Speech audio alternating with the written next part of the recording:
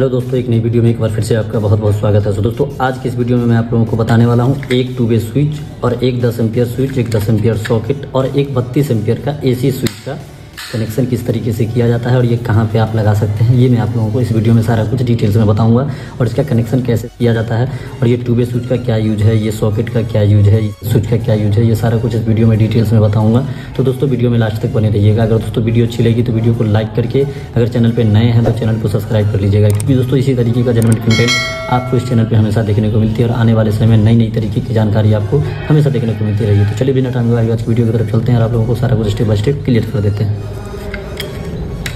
दोस्तों, वीडियो में आगे बढ़ने से पहले आप लोगों को सबसे पहले ध्यान देना है, ये जो टू वे स्विच है तो ये दूसरा काम के लिए है और ये सॉकेट है, इसका हमें कनेक्शन कर लेना है। तो इसमें हमें देना है दस एम्पियर का है तो इसमें आप डेढ़ एम का वायर लगा सकते हैं। तो डेढ़ एम के वायर को हमें लेना है, इस तरीके से इंसुलेशन हटा लेना है और इंसुलेशन हटा करके इसको आप फोल्ड कर लेंगे ताकि वायर आपका कटेगा नहीं। और इसमें देखेंगे सॉकेट में एल वाला टर्मिनल रहता है। एल वाले टर्मिनल को ढीला करना है और इसमें हमें वायर डाल करके और इसको अच्छे से टाइट कर लेना है। और उसका स्विच के ऊपर वाले टर्मिनल पे यहाँ पे लिखा होता है एल और एल वन तो एल वन वाले में आपको करना है, यहाँ पे नाप करके थोड़ा सा बड़ा रखना है एक्स्ट्रा और इसको आपको छील करके।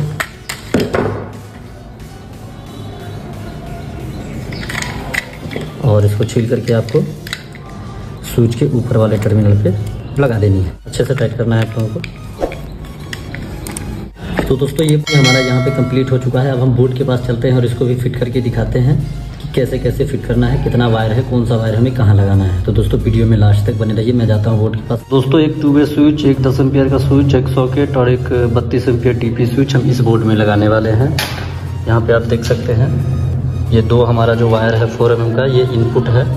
और ये है हमारा आउटपुट जो यहाँ पे एसी लगेगा, ठीक है? ये कटिंग हो रखा है, लेकिन अभी वायरिंग नहीं हुआ पाइप वायरिंग तो उसके लिए ये एसी लगेगा, उसका वायर है। और ये है हमारा जो टू वे स्विच है टू वे स्विच की वायर ये हमारा अर्थ का वायर है, ठीक है? तो ये टू वे स्विच हम यहाँ पर क्यों लगा रहे हैं? इसका क्या रीज़न है? तो ये आप देख सकते हैं, ये जो है सो टॉयलेट है। तो टॉयलेट में दोस्तों होता है कि बोर्ड जो है सो अंदर होती है।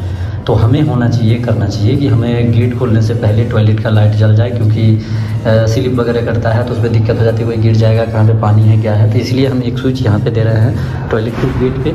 आप सिंगल बोर्ड भी लगा सकते हैं, यहाँ पे हमें बोर्ड आ रहा था, इसलिए हमने इसी में दे दिया। है तो यहाँ से ऑन करके, उसके बाद फिर हमें अंदर एंटर करना है। और उसके बाद यहाँ जो हम बोर्ड लगाएँगे, इससे हमें हर चीज़ को ऑफ़ करना है। और दोस्तों, मैं आपको अगली वीडियो में, एक वीडियो में ये भी बताऊँगा, दो जगह कम से कम गीजर का स्विच देना चाहिए। क्यों देना चाहिए? इसका रीज़न क्या है? ये भी मैं वीडियो में बताऊँगा। तो पहले वो बेट बोर्ड को सेट कर लेते हैं सेट करके फिर उसके बाद दूसरी वीडियो में मैं आप लोगों को ये चीज़ बताऊँगा। तो दोस्तों, यहाँ पे आप देख सकते हैं ये हमारा इनपुट वायर है और जिस तरीके से हमने नापा था, उसी तरीके से हमें फिर नाप लेना है और इस तरीके से हमें वायर को कट कर लेना है। आपको एक साइज़ का सब टोटल वायर को बना लेना है। ठीक है? उसके बाद आपको एक चीज़ ध्यान देना है कि ये हमारा देख सकते हैं, ये इनपुट है तो आपको इसमें करना है कि इनपुट टेप आपको एक जगह मारना है, एक नंबर मारना है, ठीक है?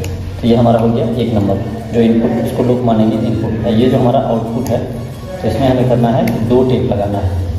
इससे कोई भी इलेक्ट्रिशियन समझ जाते हैं, धोखा नहीं खाते हैं। उसके बाद हमें करना है ये मेन न्यूट्रल एक सॉरी बॉडी अर्थ और एक इसमें का बॉडी अर्थ एक साथ ले लेना है। और एक साथ हारमत मार करके और ये जो हमारा बोर्ड है बोर्ड में आप देखेंगे, ये जो सॉकेट है सॉकेट में जो हमारा अर्थ का टर्मिनल है, जो हमने बहुत सारे बोर्ड में बताया है, उसमें अर्थ वाले टर्मिनल पे हमें इस वायर को ग्रीन वाले वायर को अर्थ वाले को डाल करके अच्छे से टाइट कर लेना है। ठीक है? और उसके बाद हमें करना है, यहाँ पे जो, ये देख सकते हैं, ये हमारा इन्वर्टर का वायर है।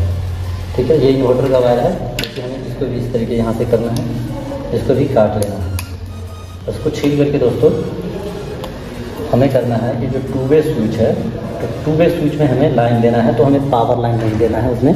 जो एक लाइट होता है, वो इन्वर्टर से दिया जाता है ताकि हमारा लाइट हमेशा जलता रहे लाइन रहे, ना रहे लाइन कटा रहे, उससे कोई फ़र्क ना पड़े।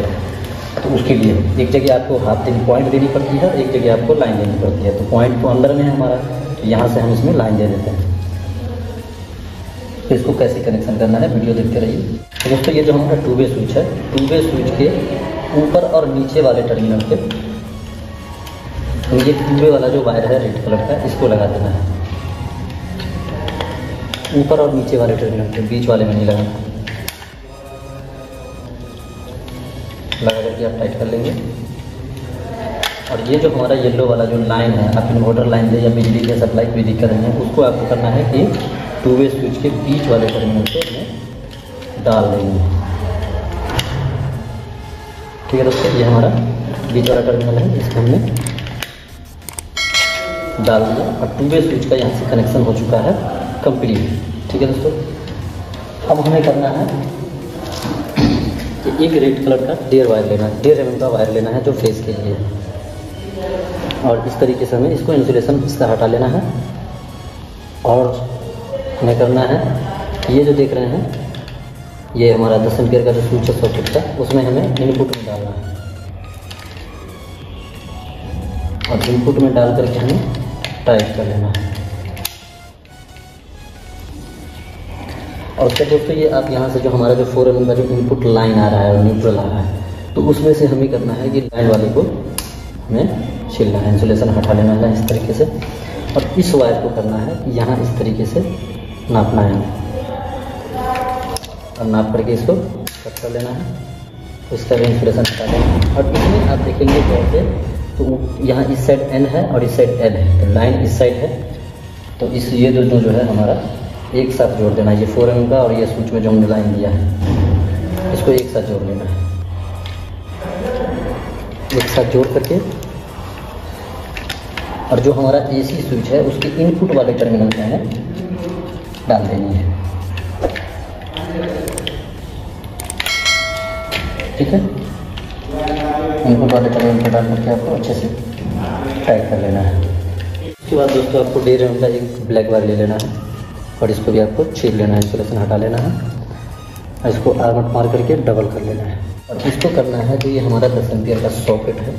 सॉकेट के एन वाले टर्मिनल पे लगाना है। न्यूट्रल वाले और इसमें हमें लगा करके फुल टाइट कर लेना है। और इसको हमें यहाँ से नाप करके कट कर लेना है।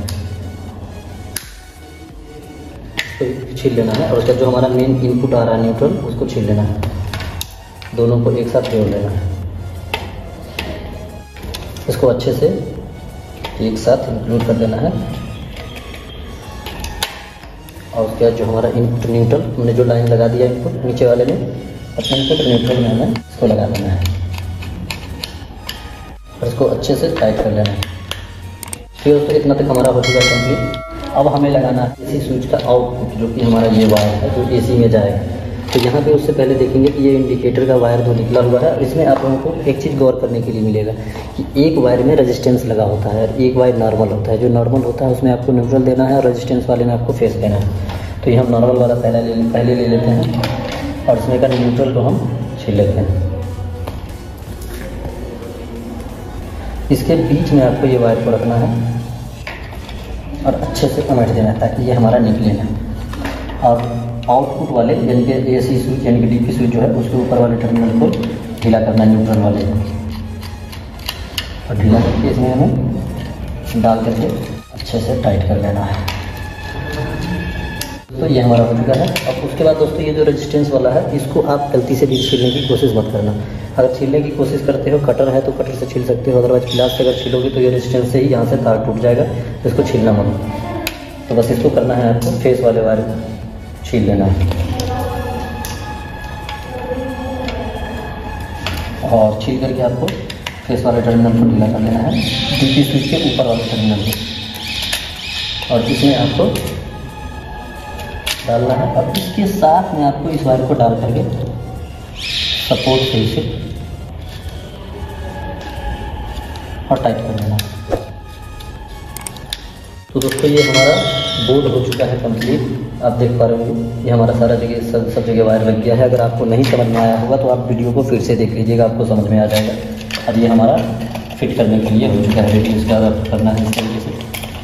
और दोनों में स्क्रू ला के फिक्स कर देना है। यहाँ पर फ़िलहाल पुट्टी करवाएँगे, उसके बाद हम बंद करेंगे। तो दोस्तों, उम्मीद करता हूँ कि वीडियो से आप लोगों को स्टेप बाय स्टेप क्लियर समझ में आया होगा। अगर दोस्तों वीडियो से रिलेटेड किसी भी तरीके का क्वेश्चन या सुझाव है तो आप लोग कमेंट बॉक्स में कमेंट ज़रूर कीजिएगा और दोस्तों वीडियो को लाइक कर दीजिएगा। अगर चैनल पर नए हैं, अगर यहाँ तक आ चुके हैं तो प्लीज़ चैनल को सब्सक्राइब करके और साथ ही साथ बेल आइकन प्रेस कर लीजिएगा, क्योंकि दोस्तों इसी तरीके का जनमेंट कंटेंट आपको इस चैनल पर हमेशा देखने को मिलती है और आने वाले समय में नई नई तरीके की जानकारी आपको हमेशा देखने को मिलती रहेगी। तो चलो दोस्तों, आज के लिए इतना ही। मिलते हैं नई वीडियो में, एक नए टॉपिक के साथ। जब तक के लिए बाय